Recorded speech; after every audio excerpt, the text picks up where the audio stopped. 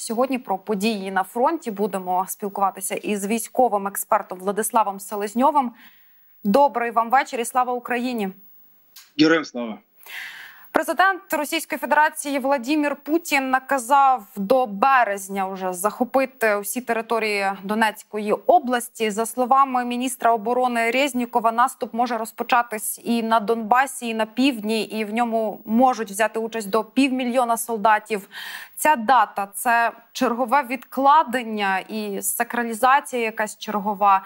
Чи зараз все ж таки ви бачите ознаки того, що е, росіяни уже готуються, і можливо цей наступ, якого ми всі чекаємо, уже розпочався. А чи є Володимир Путін символістом? Так. Беззаперечно, адже часто густо всі свої гучні промови, події, рухи робить він з прив'язкою до певних дат. Е, чи триває зараз активна е, навала з боку путінської армії? Це так само очевидно, адже на тлі того, що Нині уздовж усієї 1300 кілометрової лінії російсько-українського фронту є чотири найпекельні такі ділянки. Зокрема, це Ліманський напрямок, це район Бахмуту, Авдіївки, Углідара. Саме тут путінська армія зосереджує усі свої зусилля. Причому на двох перших позиціях в районі Лімана та в районі Бахмуту постійно відбувається нарощування бойових можливостей російських окупаційних військ. Ті самі чмовики, які протягом тривалого часу готувалися на території військових перегонів, як на території самої Російської Федерації, так і зокрема на території Республіки Білорусь, вже переміщені у визначені райони і зараз починають. Поступово переводитись ближче до тих бойових підрозділів, які виконують завдання путінської армії в, районі Креміної, в районі Свата, в районі Бахмуту. Е, саме в такий спосіб путінська армія намагається перехопити ініціативу, максимально відтіснити на нові рубежі та позиції українських сил оборони. Чи вдасться їм це зробити? Е, питання певною мірою риторичне, адже очевидно, що нинішня війна це війна ресурсів. Матимуть українські сили оборони достатньо сил та засобів, щоб стримувати ворожу навалу. Наші будуть далі триматися. Якщо ні, то відповідно будуть активним маневрувати, проводити маневру на оборону, виходити на інші рубежі ділянки для того, щоб з одного боку максимально нанести ураження по ворогу, тим самим знижуючи його військовий потенціал, а з іншого боку, максимально намагаючись зберегти зберегти життя та здоров'я наших воїнів. Бо війна це не про квадратний кілометр, це війна це про збереження життя наших воїнів. Бо подальшому саме наші воїни будуть продовжувати заходи з деокупації території нашої країни в рамках контрнаступу. Ну ми цінуємо життя кожного військового, натомість бачимо, що наш противник абсолютно ні. Це країна, для якої найбільша цінність це зброя, а не люди. Скільки вони реально е, готові підготувати, одягнути, озброїти? Яка це кількість ось цих? Чмобіків, ну ми розуміємо, що вже ні про яку фахову підготовку не йдеться. Вони просто їх е, кидають як гарматне м'ясо. Але про яку кількість ми можемо говорити і які терміни? Одна з е, важливих е, складових е, тих речей, що ми з вами разом робимо, ми з вами ми розвічуємо фейки. І зараз я спробую е, розвінчати кілька досить неприємних, але як на мене, дуже таких показових фейків. З одного боку, путінська армія не дарма разом з ворожою пропагандою реалізовує щороку проєкти на суму понад 2 мільярди доларів. Це проєкти інформаційно-психологічних операцій, інформаційного впливу не лише на мозки, мозок російських е, громадян, а й взагалі на е, думки, почуття мешканців України, європейської світової спільноти. Тобто дуже великі гроші, які е, в ті чи інший спосіб путінська армія намагається спрямувати на створення панічних настроїв, відтворення почуття зневіру, несприйняття сприйняття е, тих процесів, які відбуваються. Тому, коли ми часто густо чуємо про те, що мільйонна армія Путіна ось ось нападе з усіх боків на територію України, все це таки. Адже Путін можливо і марить про досить серйозне геополітичне надбання, але він наразі не має тих самих ресурсів, які достеменно могли і 100% гарантувати Путіну реалізацію його мрій. 324 тисячі це цифра, яку озвучив генерал е, Кирил Буданов, очільник української військової розвідки. Саме така кількість російських вояків зараз задіяна в рамках так званої спеціальної військової операції. Причому не всі ці вояки знаходяться безпосередньо на території України. деяка частина з них перебуває в резерві. Чи має Путін півмільйонний резерв е, окупаційної армії? Я маю певну міру сумнів, адже до цього дня, до заяви деяких наших посадових осіб ця цифра ніколи не лунала. Але це не означає, що, наприклад, протягом одного, максимум двох місяців Путін не зможе поставити під ружьо таку кількість російських чиновників. Бо е, військова машина на території Російської Федерації працює, мобілізаційні заходи відбуваються, бо немає указу Путіна щодо припинення часткової мобілізації. А крім того, і мабуть, то є головний фактор, Путін все ще марить або знищити Україну як державу та українства е, як складову спільноту народів світу, або щонайменше підкорити. Чи вдасться це зробити Путін? Відповідь очевидно. Бо ми ж всі з вами є свідками тієї блискавичної та е, дуже швидкоплинної операції Київ за три доби. Путін розпочав 24 лютого минулого року. Чим все то закінчилось, всі ми знаємо і бачимо, що відбувається нині. Тому бойові дії будуть тривати. Путін буде кидати в топку війни все нові партії чоловіків, але спромогнеться він досягти бодай якісь там реальних територіальних надбань, має дуже велику сумнів. Зараз ми чекаємо зброю, так танки від наших партнерів і. Скільки ми маємо ось цього люфту, так скільки ми маємо часу на вікно можливостей, аби все ж таки не дати росіянам перешкодити нам цю зброю застосувати? От е, це дуже глибоке питання, адже очевидно, що е, путінські аналітики і путінські генерали дуже уважно дослідковують е, зростання бойових можливостей українських сил оборони, і звісно, що вони намагаються використати той проміжок часу між е, політичним сигналом від наших західних партнерів, які ми отримали під час вісього Раштайну, та безпосередньо прибуття того всього устаткування зброї військової техніки, яку е, яке ми отримуємо від наших західних партнерів, і той проміжок часу Путіна не великий. можливо, три, можливо, чотири, ну максимум п'ять тижнів. За п'ять тижнів українська армія достатній кількості е, те саме озброєння, яке дозволить нам не лише ефективно тримати оборону, як проводити контрнаступальний заход. І відповідно Путін поспішає. Саме тому зараз на кількох, та навіть не на кількох, фактично вздовж усієї лінії російсько-українського фронту відбувається така собі розвідка боєм. Раз за разом відправляються невеличкі штурмові загони.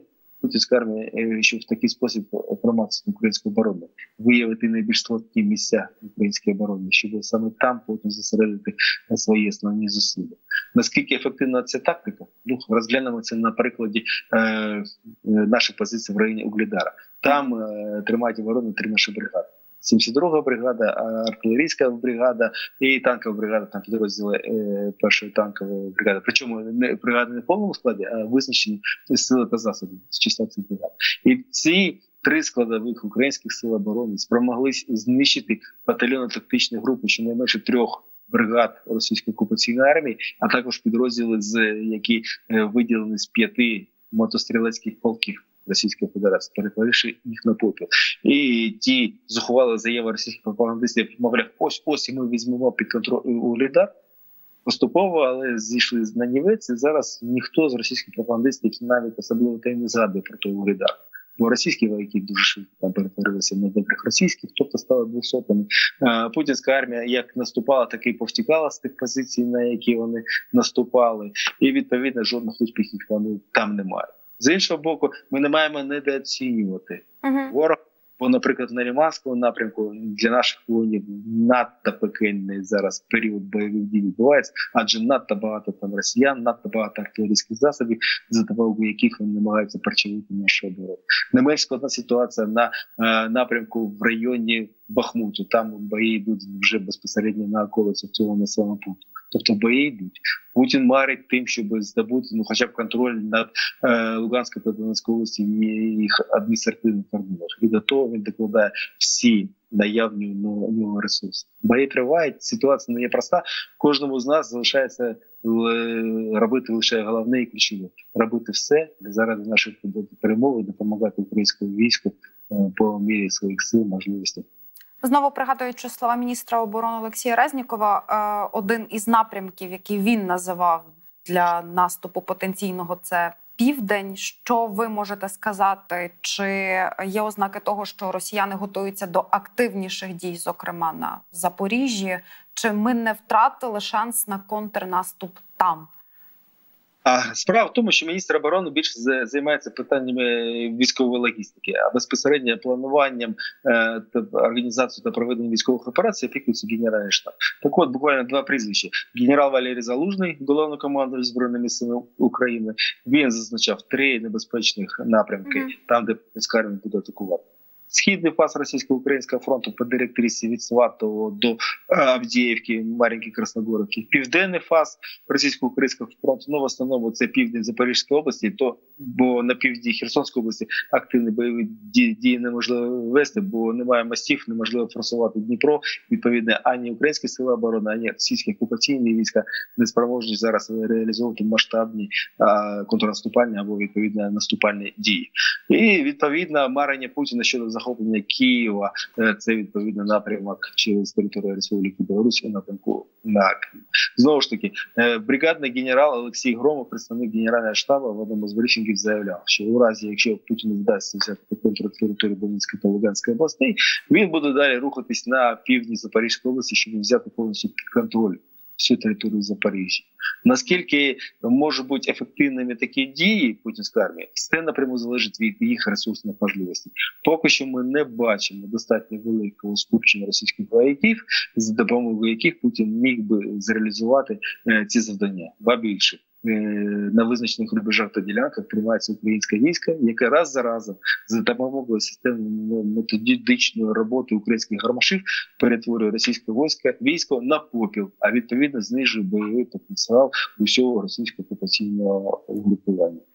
На Херсонщині на попіл е, артилерія збройних сил перетворила російський ЗРК Тор М2ДТ, і аналітики з Ukraine Weapons Tracker стверджують, що це перше таке підтверджене знищення рідкісної системи російської протиповітряної оборони, яка е, в першу чергу призначена для використання в арктичних навіть умовах.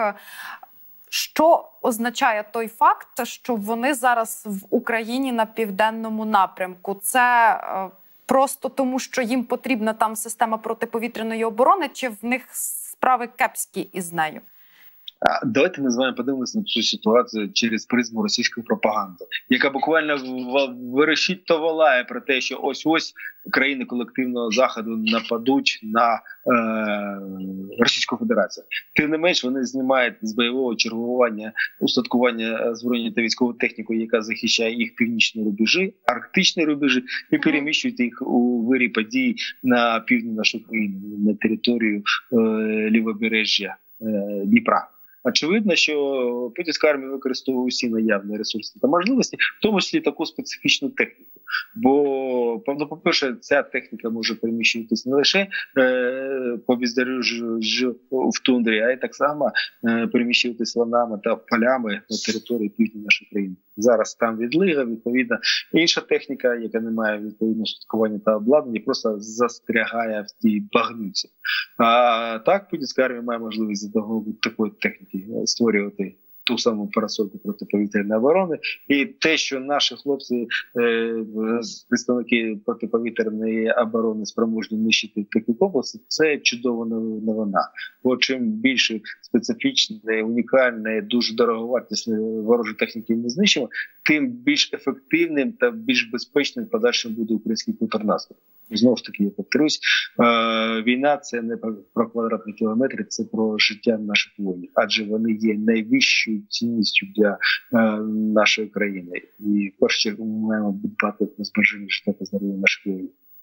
Маємо буквально хвилину до завершення ефіру. І ще хочу наостанок вас запитати: е, Іран офіційно звинуватив вже Ізраїль за е, серію атак е, безпілотниками. Західні медіа пишуть, що крига скресла, і Ізраїль вже не такий категоричний щодо того, чи надавати нам залізний купол. Наскільки це реалістично? А головне, чи зараз це саме те, що нам потрібно? Але будь ласка, лаконічно. Е, звичайно, нам потрібна допомога у всіх наших західних партнерів, зокрема унікальні технології держави Ізраїль, яка понад 70 років перебуває у вирі бойових дій. Тому звісно, якщо таке рішення буде ухвалено, воно буде працювати на користь на посилення української системи протиповітряної оборони. Ми раді будь-якій допомозі від наших західних партнерів та колег, бо разом ми захищаємо безпеку не лише на території нашої країни, взагалі на європейському континенті. Ну а якщо не зараз, то система ця зможе захищати наші кордони вже після перемоги над е, російським ворогом. Дякуємо вам за те, що знайшли час із нами поспілкуватися. І із нами на зв'язку був Владислав Селезньов, військовий експерт.